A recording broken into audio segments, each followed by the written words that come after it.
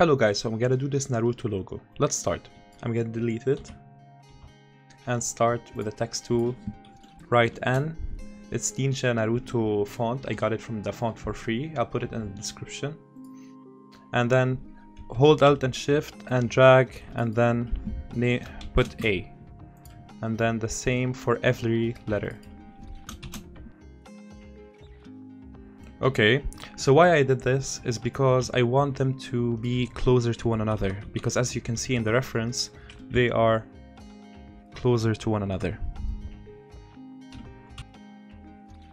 Okay, now that we have this, go to the N and right click, go to blending option and give it a gradient and the gradient is the FDB 600 is a yellow and EF2, F23 is the red.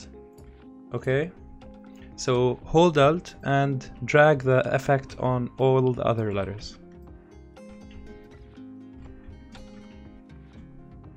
Okay, so now we need the stroke. So select all of the letters and group them and then go to FX with the group 4, give it a stroke and the stroke should be white and size 8. Okay, so it doesn't appear. Let's put a reference. Let's put a rectangle. And put it underneath group 4. Let's name group 4 letters.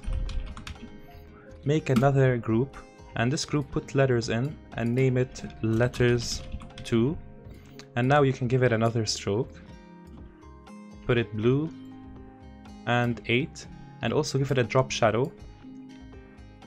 And the angle for the drop shadow depends on your artboard so you have to keep trying until it looks like the reference. Okay.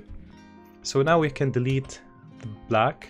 As you can see now the blue isn't very similar to this blue. So unlock this reference layer and put this close and we have to get the polygon lasso tool zoom forward and fill in the holes and make the blue similar to the reference.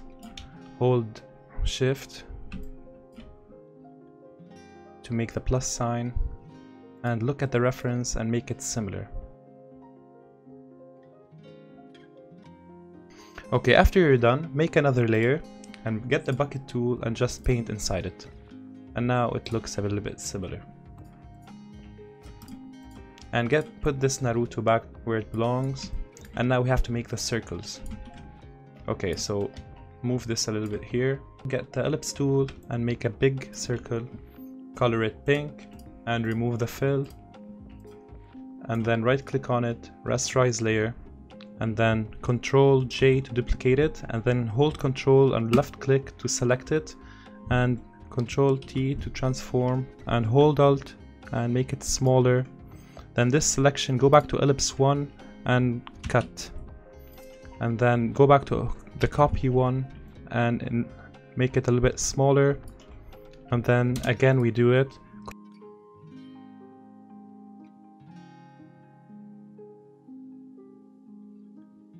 Okay now this one here merge the layers and make it smaller and put it on top of Naruto and edit, transform, skew. Skew it a little bit to the right and put this layer underneath the group letter. Okay, now get the lasso tool and zoom in and remove this section here like the reference. And we're done.